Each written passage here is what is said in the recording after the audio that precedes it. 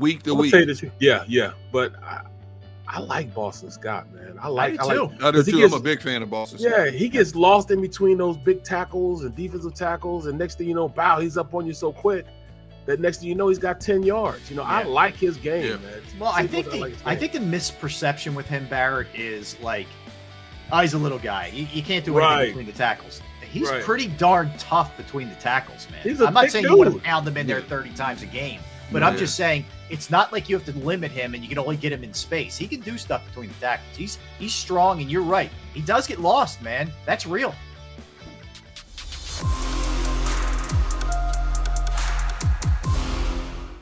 That's for sure. You- What's you- up, everybody you- in the chat section? We see you. I hope you're doing well out there. Everybody listening, everybody streaming.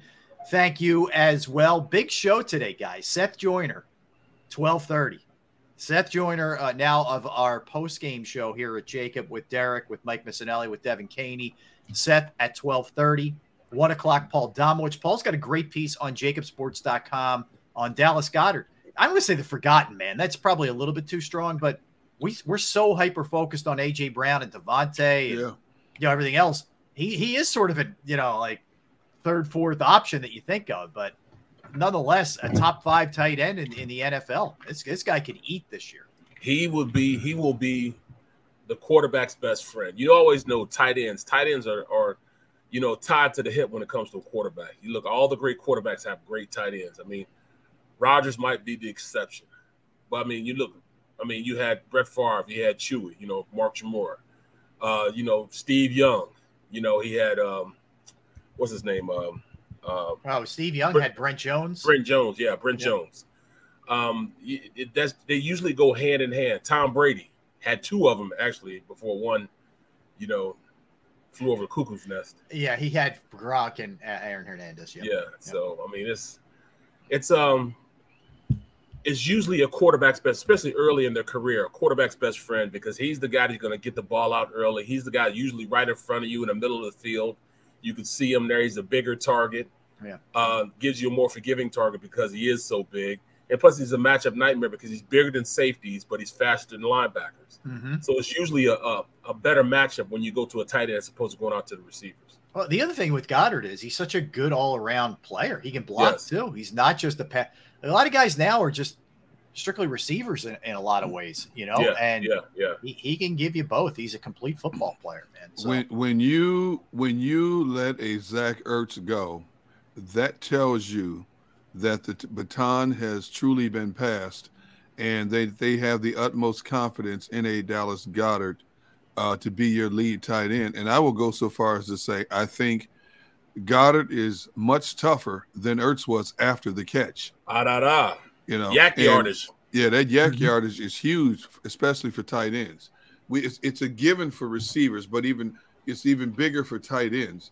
And Goedert is he's not at the George Kittle level, but he's not that far behind him. I mean, he is a physical tight end, uh, athletic, great hands. Has improved tremendously in his bo- blocking aspect of his game. Um, and and, and once you turn once you let go of a Zach Ertz and turn the reins over to a Dallas Goedert, that's when you know Goedert has arrived. You know, it, it plain and simple. That's when he has arrived because most teams would kill to have a dual tight end situation like an Ertz Yes, and, exactly. and a Goedert. You look at you look at New England right now with Hunter Henry and Jonnu Smith. I mean, t- a great tight end combination. You go back to the to the days when they had a young Gronkowski with Hernandez. You know, Hernandez was more like a receiver more so than a tight end. Yep. Um, very few teams have that luxury of having two equally talented tight ends. But obviously, the Eagles felt they couldn't pay both right. you know, and they, they did did you know Ertz a favor by by sending to him, him to a place like Arizona to finish out his career. But you know, I, I love the maturation of Dallas Goedert right now. And Yeah. you know? He kind of um he kind of was holding back Dallas Goedert in, in so many ways Yes, because yeah. they ran a lot of 11 personnel, which is one running back, one tight end. And because of they were run a lot of it, you know, Dallas Goedert's challenge was virtually being unused because of it. Yeah. Um, once he left, you know, if you they say if you double up the yards, you know, even you know a little less than the double, he'd been right around a thousand yards um, of, of, of, receiving yardage. What makes him to me better than Ertz is his ability to block mm-hmm. they, and his ability to get YAC yardage. You know, once once once Ertz caught the ball, he was hit, he was going down. Yep. There wasn't the YAC yard. He was going straight down. But he was his caught a lot of balls though. Yeah, his route running and way his ability to catch the rock, man. He yeah, you know, I I take it. You know what I mean? I no, take just, it. He, yeah. he, arguably the biggest touchdown in Eagles history uh, for Zach Ertz. Not not exactly. a bad not a bad little label. All right, so the big news uh, coming out of the two things out of yesterday, but let's start with the bigger news. Uh, Andre Dillard uh, has a, a fracture, a displaced fracture in his forearm. Now, the, the good news is uh, it doesn't appear he's going to need surgery. Uh, the, the, the bone is still aligned with the arm, which I would assume just means cast it, you know, let it let it mend and, and you know, good to go. They don't expect it to be a real long term thing. Uh, certainly not the season or anything like that. But uh, you know, that's a that's a blow to your depth, you know, for sure. And I was glad they kept him around simply because this kind of stuff happens, man. I, I didn't think it'd be happening to him in a, in a practice, but it happens. And you know, you're down a guy now who is a quality someone you could you know, plug in at that left spot if something happens to Mailata. That's for sure. It's, it's not not good news, but it, I guess it could have been a lot worse. Yeah, I mean that's that's that's tough, man. You know, um, he's quality backup, but we don't need him right now. That's the good thing. We don't need him right now. In fact, I hope he doesn't get on the field because that right. means one of our tackles is hurt. So uh, I'm, I'm I'm happy with the fact that he uh, you know he's he's a backup right now, and we didn't need him. But I mean, I hate that he's he's he's injured himself. You know, especially you know the way he played. You know, the last two games. I thought he played pretty well the last two games. You know, I, I hate to say this, but it was only a matter of time before somebody got injured on the Eagles. When you consider the wow factor of injuries that have happened across the league throughout training camp and preseason this summer, and we are sitting here applauding the Eagles for being relatively healthy going in, and they still are going into that first game, but it was bound to happen sooner or later um, that somebody in this team was going to get injured. And luckily, I hate, I hate to say luckily because I don't want to yeah. see anybody injured. Right. Um, Honestly, we understand um, what you're saying. Yeah. You know what I mean? But but but but luckily it wasn't a starter. So, uh, you know, and and the good thing is, like you said, Rob, uh, it doesn't look like it's going to be season ending. Yeah, and I look, uh, a Barrett's right. You'd rather it be now if it's going right. to happen. You'd rather it happen right. early. Right. Um, I, I think too. All things considered, when you look at other teams and teams near them, like the Giants and some others who have been killed by injuries, you know, it hasn't been that bad. And, and part right. of that is by design. The Eagles are, are, clearly make that a priority, you know, to have guys not get hurt. So that from that standpoint, it's worked, you know, for the most part. So anyway, it, it, that's the uh, that's one part of the news. They signed a running back, Trey Sermon, who uh, started his career at Oklahoma. He actually played with Hurts when, when those guys were there together. Then he finished up. That's what I know him. Yeah, he finished up. He, he had a grad year at Ohio State two years ago, which was his last year. He was with the 49ers last, uh, last season. He was a third round pick, and yeah. they cut him after one year, which isn't a great sign. But if you wanted some size, you got some size. He's not the fastest guy in the world, a 4 6 40, uh, but he's on the bigger end of this thing.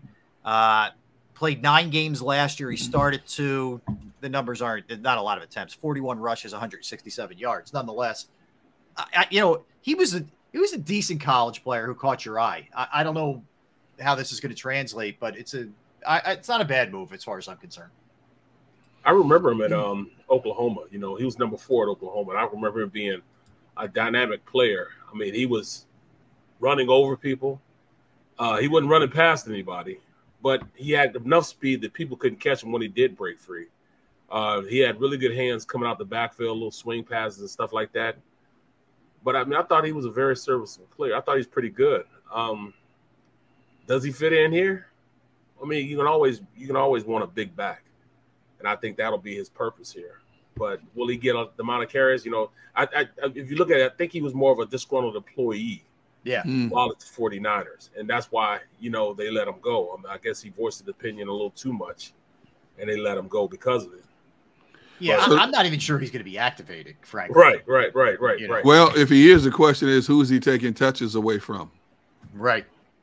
That's a Right. big question. If yeah, I, I mean, do you system- want him taking touches from Boston Scott or Gainwell or Hey, Sanders? hey, I don't. I'm telling you. Well, you don't know if he's productive. You know, give him the ball. But then who suffers in the wake of that? I mean, Yeah. whoever the Scott- hot- whoever has a hot hand, that's who you give the ball to. Right, and you know Miles Sanders is going to be the horse. Um, not you know we we're not we don't have that bell cow back. It'll be running back by committee, but uh, Miles Sanders will be that he will have the most carries. But Week to week. tell you the truth. yeah, yeah. But I, I like Boston Scott, man. I like I I, do like too. I do 'Cause he too. gets- I'm a big fan of Boston. yeah. Scott. He gets lost in between those big tackles and defensive tackles, and next thing you know, bow, he's up on you so quick that next thing you know, he's got ten yards. You know, I like his game, Yeah. man. Well, I think as the, like I think the misperception with him, Barrett, is like, oh, he's a little guy. You, you can't do anything Right. between the tackles. He's Right. pretty darn tough between the tackles, man. He's a I'm not thick saying you want to pound him in there 30 times a game, but I'm just saying it's not like you have to limit him and you can only get him in space. He can do stuff between the tackles. He's he's strong, and you're right. He does get lost, man. That's real. he's he's a thick dude too. You see how thick he is, man. Yeah, he's big dude. He's he's like not a small guy. Yeah. very similar. His his low center of gravity Yep. yep. gives him a distinct advantage because when a bigger man tries to go down, the bigger man can't get down as low as he is, and that's why he bounces off a lot of tackles, man. Mhm. Yep. You know, he doesn't. Very seldom do you see him go down on the first hit. Very seldom do you Yeah. see him go down. His legs, are, his little bowling ball, leg, bowling pin legs, man, just keep churning, man. Um, I, I love everything that you know. First and foremost, I love the fact that he dispel, dispels the myth that the little man cannot survive in the NFL. Right. You know, and secondly, he's productive Mhm. you know, very productive. Whenever he gets his chance, you know, when he got his chance when Miles went down last year, man, that running game didn't miss a beat. Mhm. You know, and I don't think I don't think it'll be the case. It's a shame that he has to play understudy to Miles Sanders in a lot of ways. But you know, Miles, like Barrett said, Miles is their bell cow. You know, for whatever that is for Miles Sanders, a bell cow in Nick Sirianni's offense it's 15 carries, not 25, not 28 carries. It's 15 carries if you're lucky. Well, and it, it could be less this year. Uh, Oh, I, oh they're my not goodness, gonna, yes. they're going to run at the rate they ran it last year. Uh, you know, unless there's re- some real issues, unless Jalen's really struggling or guys are hurt or whatever, you're not going to see them run as much as they ran last year. That's for sure. No. So, look, they will get their opportunities. It was weird last year. They went away from Boston Scott for a while, and then. Uh, and then they went back to him, and he, you know, it wasn't like he played poorly when they went away. I don't know. I didn't. That one was kind of puzzling to me, um, the, the way that played out. But look, I think he, Gainwell, Right, right. all these guys are good compliments to each other. game Gainwell's really Yep. good out of the backfield. I saw Chris ask on on the in the chat the Sermon uh, return kicks and punts. He doesn't. So we still don't know right now how that's going to shake out in terms of He punts. returns I- punts also. no, does not. Does not. oh, does kicks not. though. No, No, neither one. I don't think so. I don't think So he what is returns he the kicks. roster for then? Well, I think I, it's it's feeling more and more like um, you know it, it's going to be Watkins definitely with kicks, maybe punts too. You know, use unless, unless they just bring up Covey from the practice squad. But Here, here, uh, going back to Boston Scott for a minute, here's all you need to know about him being lost, as Rob alluded to. He didn't have a carry until October 24th against Vegas. wow. October keep- 24th. Now think about how many games that was. Yeah, And he had seven carries for 24 yards that game. Right. But until then, he played the game the previous week against Dallas. He had no rushing attempts and he had two receptions for five yards. That was it. Mhm. Outside of that, he was he was basically he was just there. Wasn't just a body. I mean, they weren't even utilizing him, man. I mean, it, well, the other, one thing to keep in mind during that stretch, Derrick, they were throwing a lot more. That's before they figured out what their identity Sure, was. sure. right? And that's also coincided with them starting off two and five, or you know, the, the, poor start. So I think some of it was that. Some of it was just figuring like, you know what, man, this isn't who we are. We want to win. You want to get to the playoffs. You better be able to run the ball a little bit. And then they incorporated him a little bit more. But I- I don't think they'll make that same mistake this year, right? You know, he'll he'll get he'll get touches this year. You know, and Gainwell will get his touches out of the backfield, catching the ball. I I, they'll, I think they'll stay true to those guys. I think so. I, I don't see Gainwell really being a um, Too involved. yeah too involved. I'm, I'm, I'm just being honest. I don't see Third him. down, even no. No, I think they're going to use Miles, you know, on those type of downs, if anything, and they like Scott during those downs also. Right. Um, I mean, when they if they go in with a game plan, have him at slot or something like that, I see him using have him then. But I mean, in what situation do you see him coming in and, and being better than Miles in receiving it? You know, I mean, Miles doesn't catch the ball particularly well. Well, we can't say that now. I mean, he did last year, but now he caught the one pass, the one screenplay he got thrown to you. Right now, he's 100. percent So yeah, well, he's also not a great run blocker. Well, you know, um, yeah. Gainwell also had his his hiccups with um yeah his moments fum- fumbling the ball. Yeah, I hear you. So we'll I hear see. you. Look, it's going to be interesting. Let's uh let's grab a, an early one here. Uh Xander, we're gonna hit it a little bit early. We're gonna have Seth Joyner join us. Seth now part of the JAKIB Sports Channel uh post game show. We can't wait to talk to Seth. One o'clock, Paul Domowitch. We're gonna be rolling with football, man. We are the the final weekend again without football until February. Woo friggin' who, man. I cannot wait. It can't come for NFL football. There's been college football, but we yeah, we get uh we get it cranked up next weekend and it gets real a week from Sunday. That's for sure. All right. Derrick Gunn, Barrett Brooks, Rob Ellis. We are Sports Take, JAKIB Sports YouTube Network. Let's talk about finances. Let's talk Principal Financial Group and Jim Murray, the man that you should trust. I trust him. So should you. It took me a while to find the right person to, to know who to invest with. Uh, and of course, you know how critical that is for your future, whether it's 401k, your you know IRA rollover, like I've dealt with whatever the case may be. It could be an insurance review if you just started up a new company.